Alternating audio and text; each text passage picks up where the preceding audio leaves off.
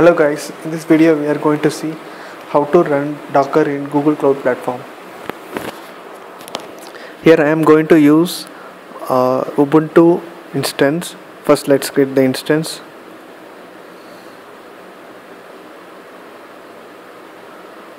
This is very similar to what we do in our Ubuntu server but here we are going to do in Google Cloud, Cloud Platform. Let's rename it to Ubuntu Docker.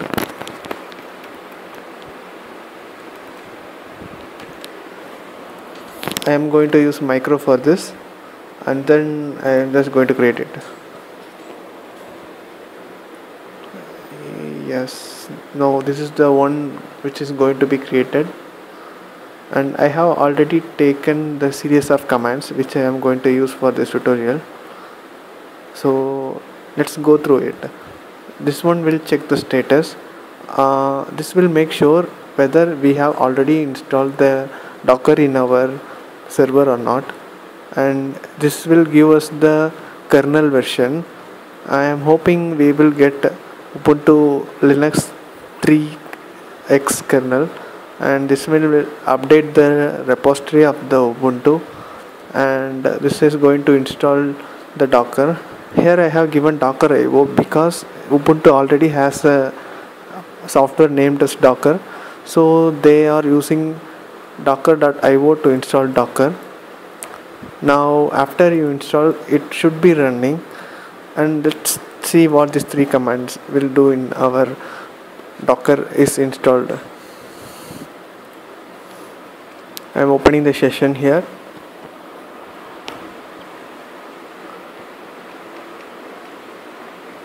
so it will take little time depending upon your network. So let's go through that again. This is going to give the short version of what docker we are using. And this will give you the long version of docker client as well as the server. Info will give you information about uh, how many docker application you are running. Okay we got this. Let's do this one by one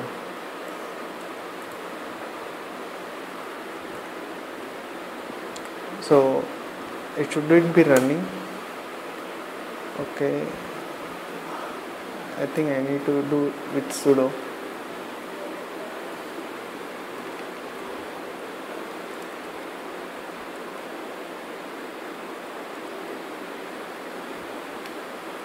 Yeah. Docker io service this is saying that active is not inactive or dead so obviously the docker is not installed. Now i will check the linux kernel version.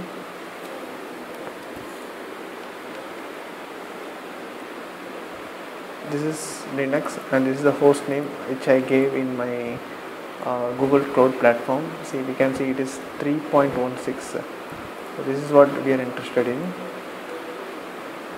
Now let's do this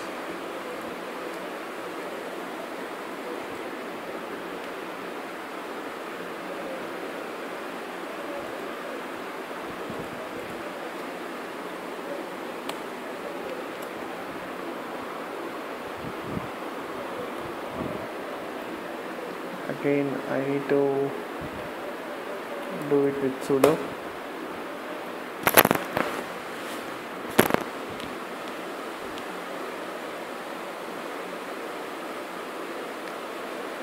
The one thing I like about Google is the speed is so awesome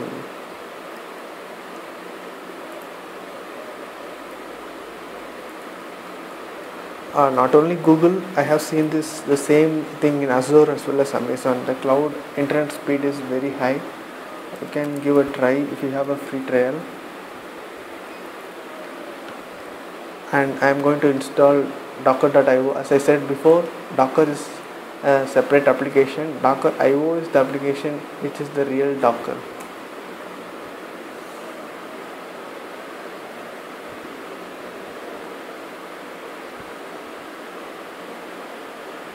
So once this is completed we can run this command and we can expect the service will be up and running. Yeah.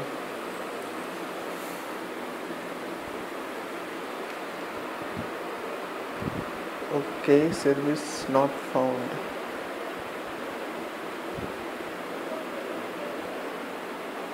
let's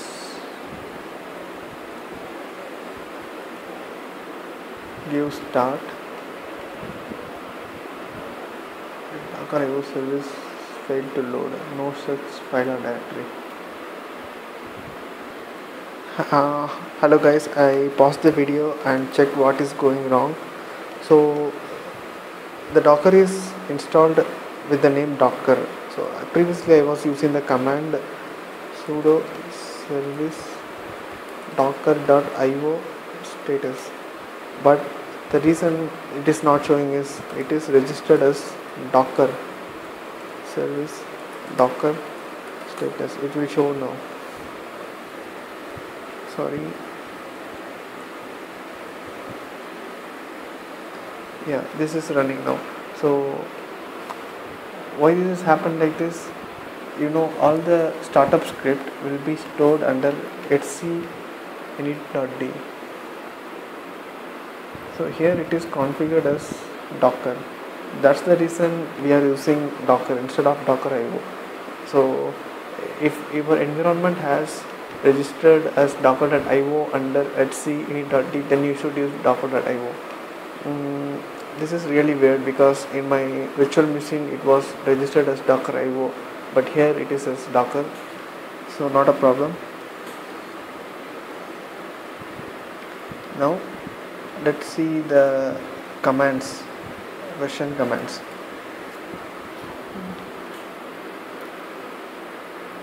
Should give the version which is 1.6.2 so now if you want to see the client and server version then you have to use this command.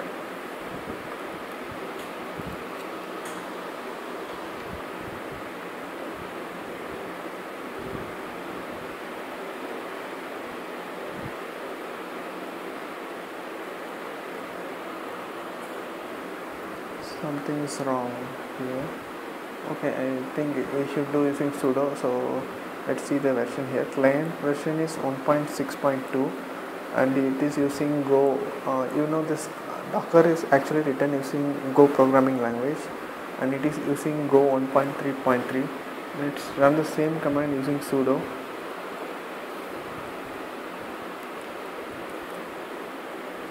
Yes. Here if you see the client version and server version are same. And I think I'm using AMD processor. That's what it is telling us. And finally the last command docker info. You will be using docker info quite often. Again I need to use with sudo